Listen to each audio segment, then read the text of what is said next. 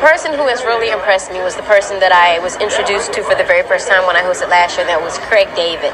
Now he had not yet been introduced to the United States um, as of then, but since then he has, and people are very they're taking um, very well to Craig David. He's doing really good all over.